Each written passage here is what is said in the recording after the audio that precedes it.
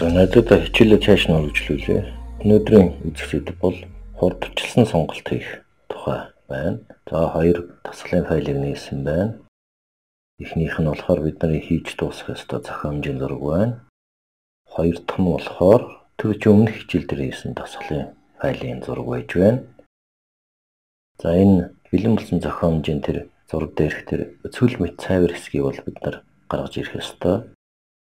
Тэгэхээр бид нар өмнө хичээл дээр DACA гэж тохируулгын давхаргыг үүсгэсэн. За энэ давхаргыг ашиглаж байгаад бид нар маск хийх ёстой. За эхлээд landscape давхаргаа идэвхжүүлээд яг томруулаад харъя. За тэр цайвар хэсэг байна. Хөрсний бараан хэсэг байна. Хадны бас хэсгүүд хоорондоо бас заахтай байгаа нь энд харагдаж байна. За иймэрхүү заахтай хэсэгт quick selection буюу урдчилсан сонголтын функцийг ашиглах нь тохиромжтой байдаг. За яаж ашиглахыг бүгдээрээ үздэсгээ. За quick selection төлөө идэвхжүүлээд auto enhance гэсэн идэвхжүүлэг идэвхсэн байгаа эсгийг шалгаад за ингээд зүүн дадуулангаас нь эхлээд товшоо товшоо явчихна өө.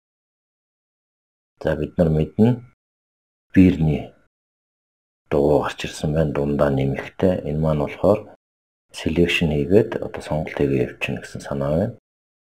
За ингээд маузныхаа төвчийг гүйлгээд гүйлгээд чирээ чирээ явчихад бол автоматар тэр өнгөний гэрэлтэй байгаа харах хэсгүүдийн хоорондох заагаар нь автоматар хурдвчилсан сонголт хийгээд явчихж байна. За энэ энд бол тодорхой нэг жоон туршлага хэрэгтэй. За ямар үед нь бэрнийхээ багсныхаа хэмжээг багасгах вэ? Ямар үед нь ихсэх үү гэд жоохон туршлах хэрэгтэй. За би Ctrl Z дараад буцааж байна. За бүхлээр нь авчиад байна. За бүхлээр нь аваа яваа дөөж байна.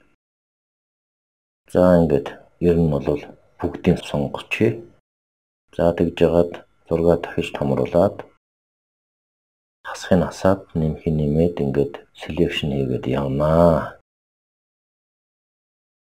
За цайвар хэсгийг үлдээгээд бараан хэсгүүдийг хасаа хасаад явж байна.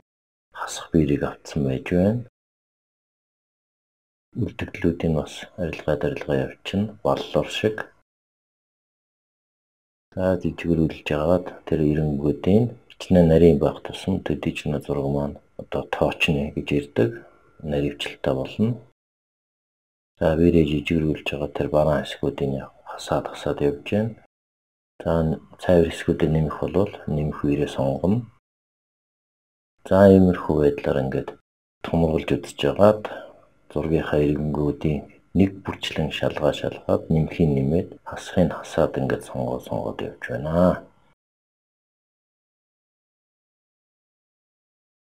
За цайвар хэсгийнхаа энэ орхигдсан хэсгийг нэмэх үрээр сонгоод За тэр нэг бараан хэсгийн жоох хасхыг сонгож байгаа тасаад өгчээ. За тэгээ хадны яроолын хэсгүүдийг бас нарийн сайн харж байгаад яг ирэмгээр нь сонгоод сонгоод тасаа тасаад нэмээд нэмээд явчих нь.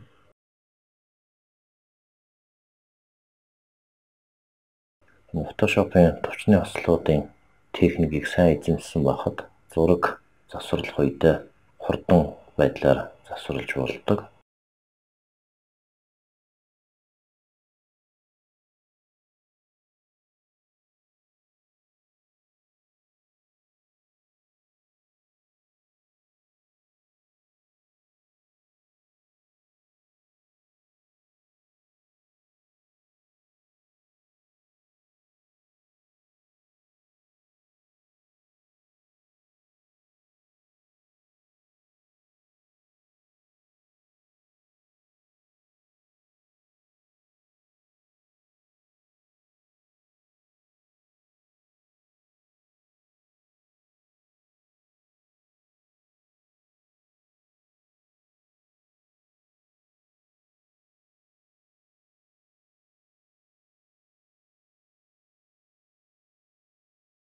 За энд нэг жоон цагаан цайвар хэсгүүдийг орхитуулсан байна.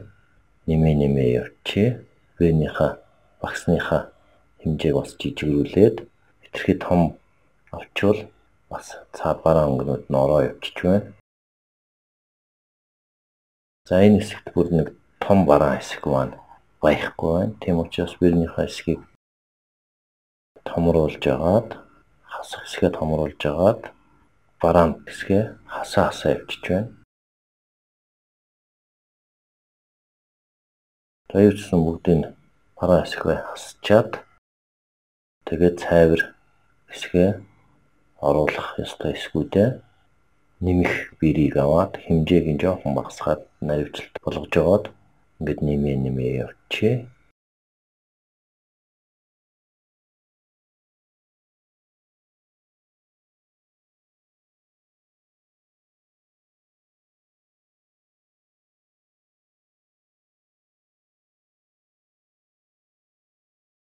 За тэр их хэсэгт нэг жоохон цайвар байна.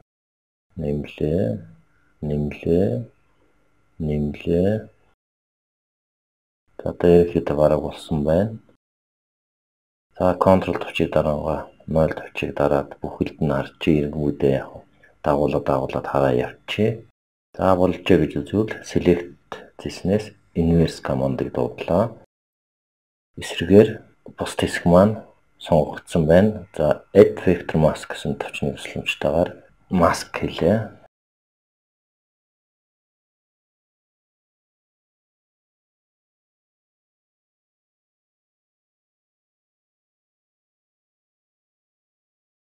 За ингээ харъя.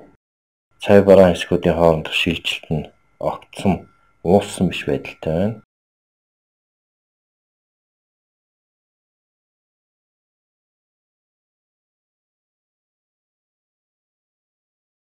За маскийнхаа thumbnail дээр хоёр удаа тавшаад бид нар эндээс fade гэдэг утгыг 100 болгоод өгчөө.